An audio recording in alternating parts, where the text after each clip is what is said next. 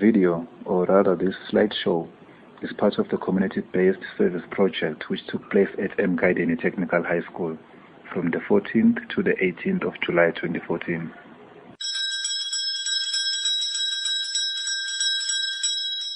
Most of the government schools, especially in the townships and rural areas, are faced with different kinds of challenges, some of which eventually lead to the teachers failing to complete the prescribed syllabi on time.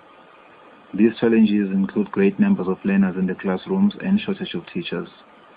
This leads to some dedicated schools giving extra classes on weekends and also during the school holidays in order to catch up with the work for the sake of their matriculants. Emkhayideni Technical High School is one of the best schools in Kwambonambi area, that is in Richards Bay, KZN, which was identified as also experiencing such difficulties.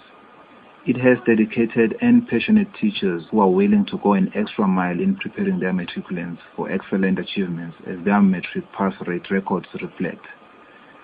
They currently have four matric classes with a total number of 140 learners. As part of the JCP project, I approached the principal of the school, Mrs. Mchangase, requesting to offer an extra hand in their good efforts, as I've already explained.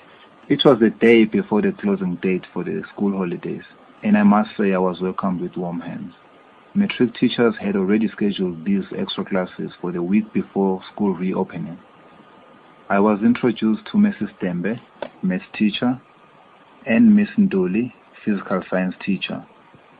And together we planned the work and divided the classes amongst ourselves in a way that would be most effective since we would only have one week together.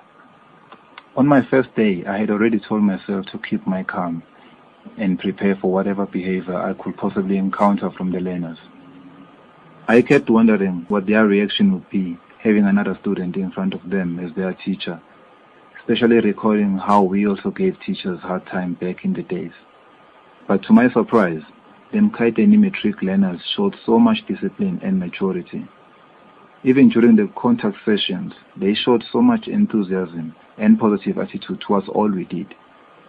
I took them for mathematics and they proved to be well-oiled machines.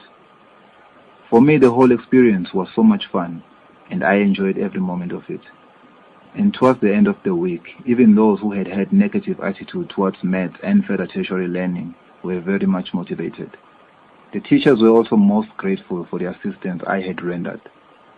In concluding, I would say that the objectives of the project were met. Hence, the project as a whole was a success.